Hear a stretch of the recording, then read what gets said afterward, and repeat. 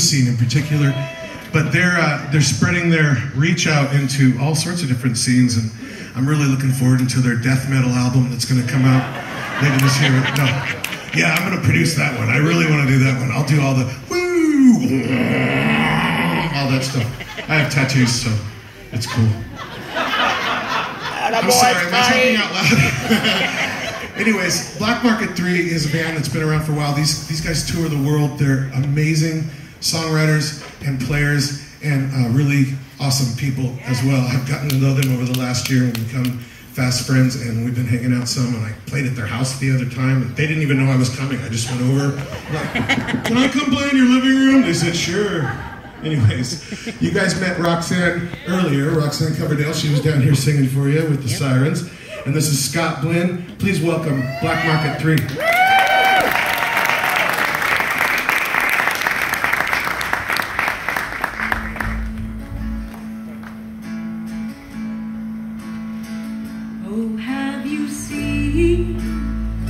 My dear companion?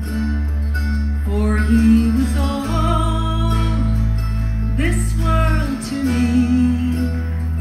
I hear he's gone to some far country, and that he cares no more for me. I wish I